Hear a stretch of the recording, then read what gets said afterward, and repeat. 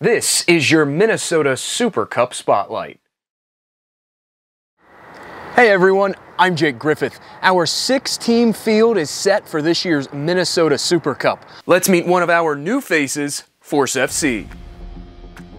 Force FC first began play in 2014.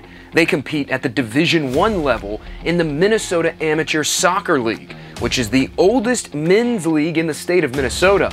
MASL was founded in 1964 and features a promotion relegation system across its four divisions. The MASL is one of the leagues that comprises the U.S. Adult Soccer Association. The U.S. Adult Soccer Association attracts some of the top amateur talent from across the U.S., and there is no age restriction on players, which means teams can comprise their rosters of paid players and current collegiate athletes. Force FC are led by Mike Swinson, the club's all time leading scorer, former team captain, and head coach of the University of Minnesota club soccer team. Force plays their home matches at St. Louis Park High School's stadium. They may be new to the Minnesota Super Cup, but Force FC are no stranger to competing for championships.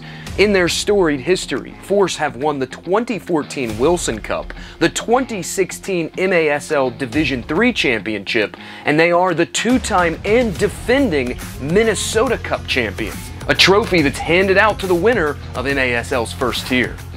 Playing in the Minnesota Super Cup with Force FC is really meaningful to us, having started the club over 10 years ago in 2014 um, in Division 4 of MASL and having worked our way up through each of the leagues um, and then winning the Minnesota Cup and Division 1 in the last few years, it's a great chance for us to celebrate our history, those accomplishments with our fans and our teammates, and continue to grow soccer in Minnesota, which we're all very passionate about. So we're really appreciative and thankful to be part of the tournament, and we're looking forward to it.